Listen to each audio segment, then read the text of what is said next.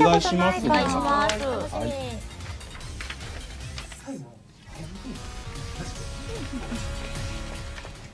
さあ出ましたねと、こういきなりユニクロなちゃんおおすごい飛んでくるすごいすごいすごいいきだいり来ましたね。悪魔的な悪魔的な攻撃を。これですです言ってんのあ、そうです。なんかちっちゃい来たみたいな感じで。本物第三高校知らぬ世界に迷い込んでしまった迷い込んじゃったと。の方が先なのねだからこれは。内容はいつも通りあのご購入いただいて見てください。今の立ち絵は書き下ろしなんですか？あ、あのギャルガン2のあの伊藤さんが書いていただいて。あ、伊藤さんが？あ、ギャルガンダブルピースの配布。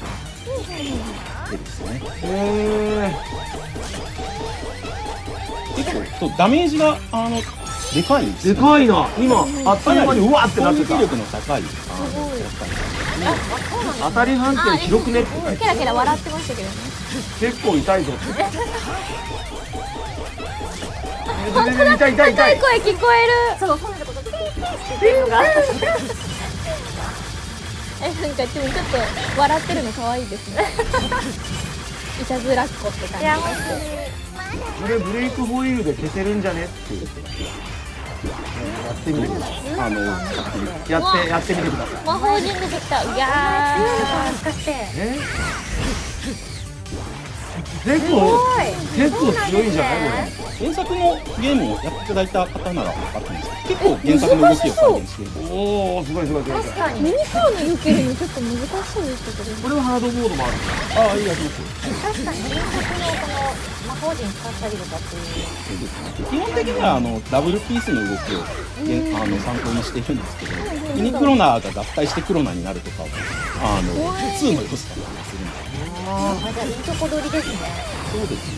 この弾幕避けにくいなこのワープの感じわわわわあ。2の逆にど。こから攻撃するのかわかんない。わわ痛い痛い痛い痛い痛い痛いまあまあ世界服みたい。あ、これがルルちゃん。かなり攻撃タイミングが限られるのでああ本当だまさか歌ったりしないよ。ギャルガンの方で歌っていただいてるんでああそう。だそちらで。こちらで。ギャルガンの方で歌っていてください。お、お。必殺技来た。白の様の大悪の敵必殺技。カタカナで書いカてある。面白い。ですわかるよ。おおえ何すごい。ー、めちゃめちゃ。ああここから出てくるんだ。とちょっとここまでここまでだおおすごい。最後の技すごかった。強い。びっくり、すごい。私も初めて見て。いやーす。ごいなこれがえー、あれですね。まあでもあの絵はだからこの畠山さんではなくてあそうです。あのギャルガン側の伊藤さんの絵であの描かれているということですね、すごい。かったです。強かった。これはあの直伝のあの技？って何ですか？直伝の？ああなんか昔そういうネタを書いたんだったかな。あんまり僕も覚えてないんですけど。はい。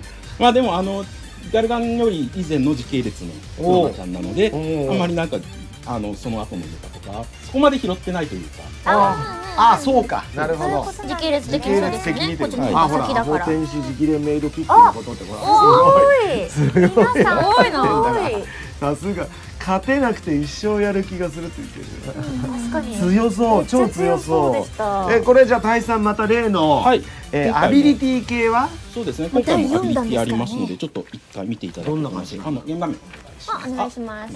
はい来ましたえーとじゃあアビリティ今回ダークパワーというアビリティでダークパワーのなんとオーバードライブ時ロロの姿がモードダークネスになるというアビリティになります。うんはい。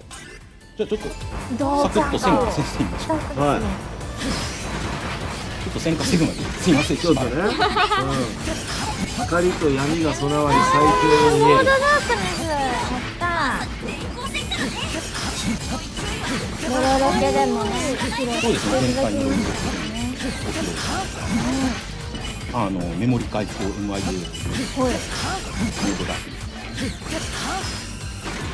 それでもあの必殺の時に一瞬だけなるんですけど、そうですね今。回はあのこのアビリティをつけていただくとあのずっともうずっとモードダークネスのロロが見られるとみんなハードモードでこれもらえないかっていうああくまでちょっと見た目だけなのですまあ前作みたいにモードダークネスの効果があるわけじゃない。んですなるほどメダルも嬉しい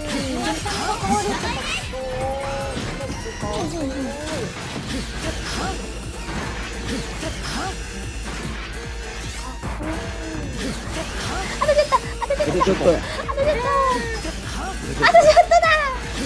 ああ来るか。出てこい出てこい。お来ました。出ました出ました。曲も曲もお実はあの BGM を聴いていただきたいんですけどはい。メモリ解放 MIAOU にこの、えー、ラッパーを弾いてる間だけは。おお注意していただきたいんですけどこのあのダッパーをつけている間はですね、うん。あのメモリ解放 MIAOU 以外の曲が弾けなくなってしまう。なるほどね。それだけはちょっと注意して。ああなるほど。でも MIA を倒しの人はずっとねはいありがとうございましつけていただいてた